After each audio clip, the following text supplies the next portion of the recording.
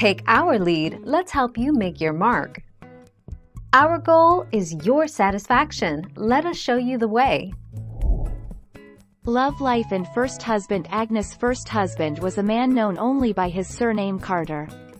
Agnes gave birth to two other children named Douglas Doug Carter and John Hailstone, before the two divorced after a couple of years of marriage, due to what appears to be Carter's wish to move away from Alaska.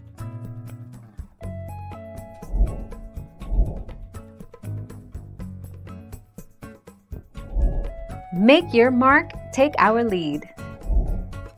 Sue Aikens is arguably one of the most popular reality TV stars of all time. Aikens lives an unusual, but fulfilling life.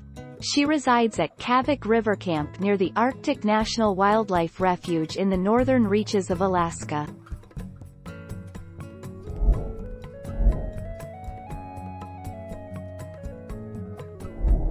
Let's help you make your mark. The answer is to this question is no. Neither she has a boyfriend, nor she is ever pregnant. Talking about her relationship status, she is still single.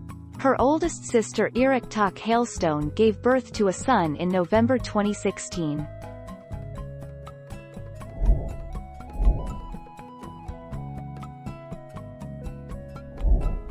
Take our lead. Gary Muehlberger, star of National Geographic Channel's Life Below Zero, Port Protection, apparently died when his house burned down.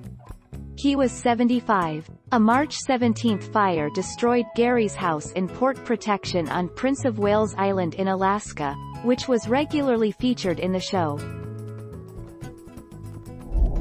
Thank you for watching. Please subscribe and hit the bell notification.